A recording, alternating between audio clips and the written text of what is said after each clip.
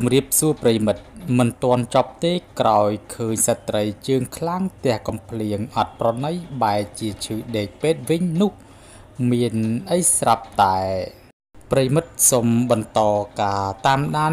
ចាប់អារម្មណ៍ជាមួយនឹង Channel ខ្ញុំបន្តទៀតដែលតាក់ទងទៅនឹងស្រីជើងខ្លាំងប្រើអំពើហិង្សាលើស្រីស្អាតម្នាក់ដែលតាក់ទងទៅនឹង Cplay ឡានបាទ មិនបាច់និយាយច្រើនក៏ប្រិមិត្តអ្នកតាមដានព័ត៌មានបានជ្រាបរួចមកហើយហើយតាក់ទងទៅនឹងរឿង Cplay រួចឆ្លុះរហូតដល់ថ្នាក់ប្រើអំពើហិង្សាជាក់ស្ដែងនៅមុននេះបន្តិច សង្សារនារីរងគ្រោះបានបង្ហោះសារថាចិត្តឈឺចាប់ពេលដែលឃើញស្នាមរបួសយ៉ាងច្រើននៅលើដងខ្លួនរបស់គាត់ខ្ញុំសោកស្ដាយខ្ញុំជួយគាត់មិនបានព្រោះពួកបង្កចាប់ខ្ញុំជាប់ហើយ ធ្វើសកម្មភាព ដាក់លើរូបគាត់យ៉ាងព្រៃផ្សៃណាស់ហើយរូបខ្ញុំក៏សូមអរគុណគាត់ខ្លាំងណាស់ដែលបានគិតដល់ខ្ញុំនិងបារម្ភពីខ្ញុំខ្លាចខ្ញុំមានរឿងគាត់ប្រាប់ខ្ញុំ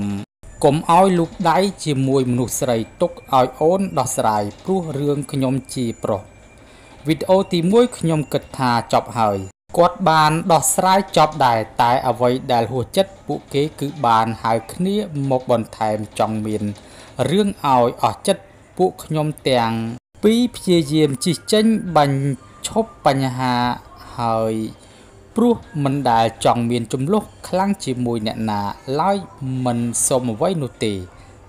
ជាចុងក្រោយខ្ញុំនិងក្រុមគ្រួសារខ្ញុំសំណូមពរឲ្យសមត្ថកិច្ចធ្វើតាមច្បាប់ចាប់ដើម្បីលុបបំបាត់វប្បធម៌មានបញ្ហាអ្វីធ្វើជា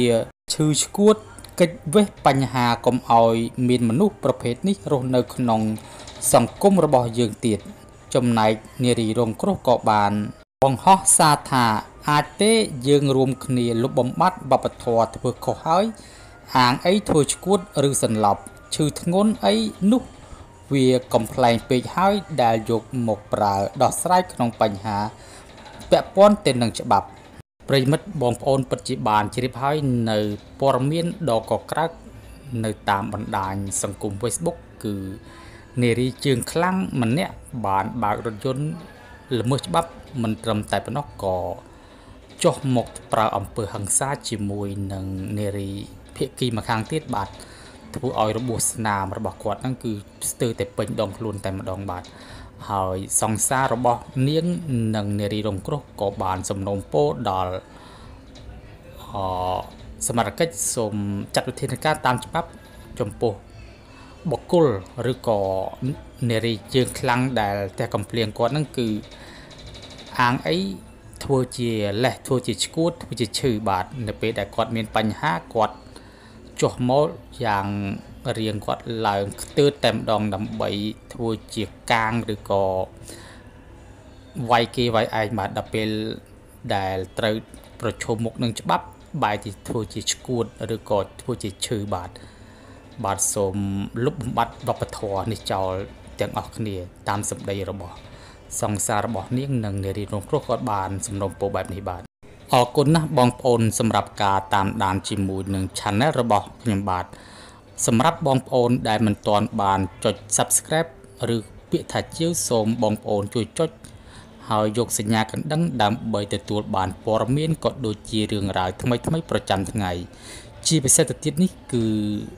យើងនឹងតាមដានថាតើនារីរងគ្រោះ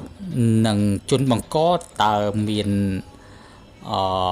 សកម្មភាពឬក៏មានវិធានការបែបណាទៀតឬក៏មិនទាន់ចប់សពគ្រប់សូមតាមដានជាមួយនឹងខ្ញុំជាបន្តទៀតនៅពេលនេះខ្ញុំបាទសូមអរគុណសូមជម្រាបលាជួបគ្នានៅពេលក្រោយ